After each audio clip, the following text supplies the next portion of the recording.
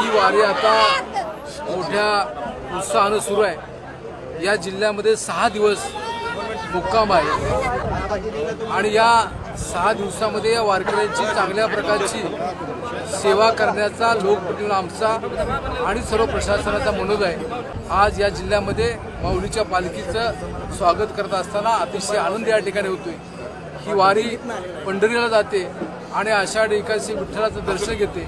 या विठ्ठलाच्या रूपानं या महाराष्ट्रातल्या कानाकोपऱ्यामधल्या शेतकऱ्यांच्या सर्वसामान्यांच्या योजनामध्ये पुष्ककाल यावा अशा प्रकारची या ठिकाणी प्रार्थना